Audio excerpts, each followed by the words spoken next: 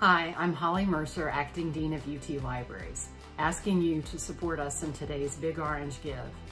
Last year, the Vol community came together and helped us raise nearly $40,000 in 24 hours, and I know we can do it again in 2020.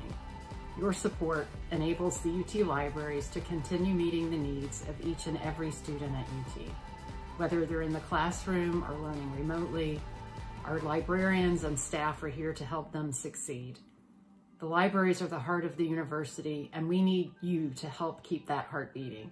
Visit bigorangegive.utk.edu slash libraries and make your gift today. Go Vols!